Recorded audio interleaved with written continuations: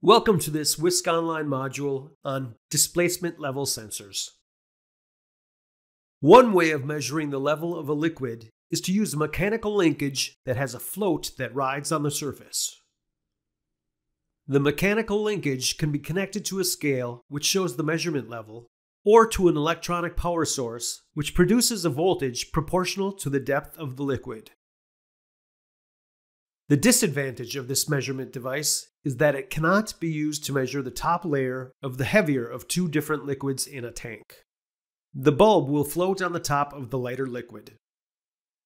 When two liquids that don't mix together are in the same container, it is called liquid-liquid interface. They include the following fluids oil and water, specific chemicals, and slurries. To make a liquid-liquid interface measurement, a displacement level sensor is used. This sensor is also capable of measuring the level of one liquid. The sensor consists of a probe suspended from a spring scale. The probe, called a displacer, is weighted so that it actually sinks in the measured fluid. However, the displacer has buoyancy, meaning that the liquid rises over a portion of it. This process is based on Archimedes' principle. A body immersed in a liquid is buoyed up by a force equal to the weight of the displaced liquid. The displacer displaces the same amount of liquid, even when the depth of the liquid changes.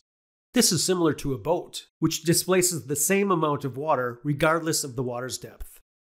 As the level of the liquid in the tank changes, the displacer moves by the same amount. The connecting rod slides into or extends from the enclosure on which the scale is mounted. In a liquid-liquid interface application, the lighter liquid cannot support most of the weight of the displacer.